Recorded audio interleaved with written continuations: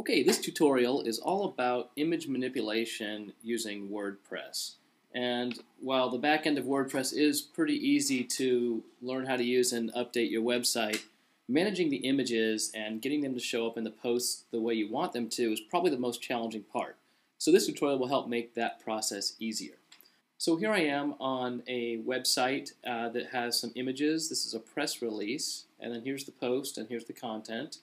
And then here's what it actually looks like on the live website. So we need to do a little cleanup here. We're going to be manipulating this image and putting it different places in the post. So we go back here. First thing I'm going to do is drag this box and make this a little bit bigger, which is then easier to work with. So here I have this image, and then if I click up here, this will pop up a window that allows me to upload attachments for this particular post. And then if I have any, they'll show up here in the gallery.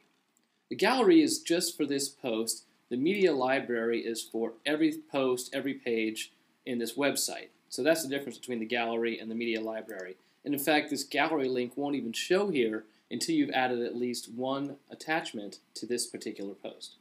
And what I can do is then click to show the details of this particular image, and it has all this information about it, has the title.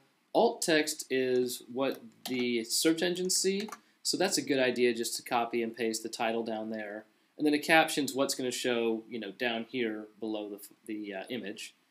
You don't really need to put in a description. A link URL is where the user should go when they click on this actual image. And usually you just want to go to the file URL, which is the original version of this file, and in most cases the full-size version of it. And then here's where we start talking about the actual uh, alignment and size of the image in the actual post. So we have no alignment means it'll just kind of show up in its own paragraph. And here's where you can choose the size of it.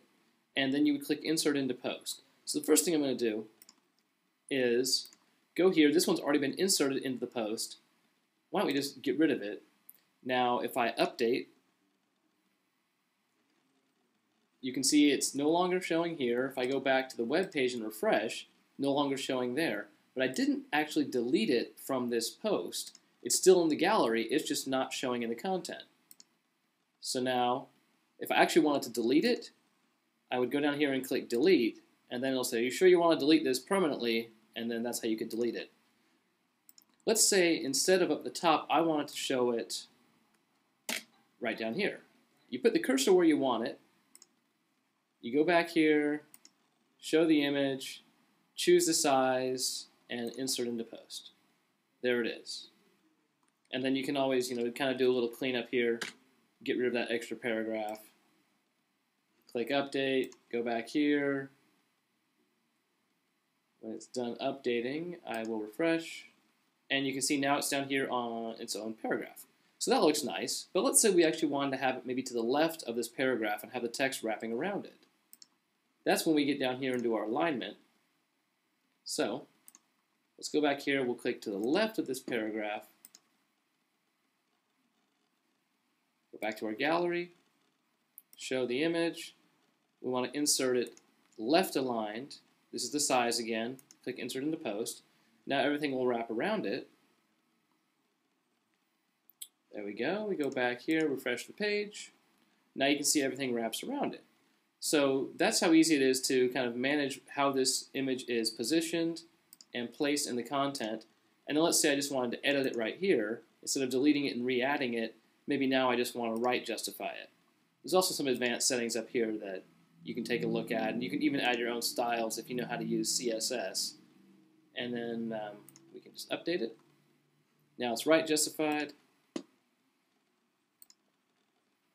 Refresh the page. There it is. And then maybe we'll add the other image down below here at the bottom. So at the very bottom, we will just insert gallery, second image. This one will just have no alignment, so it'll be in its own paragraph. Make sure we got the medium one selected. Might as well give it some alt text for the search engines. Insert into the post.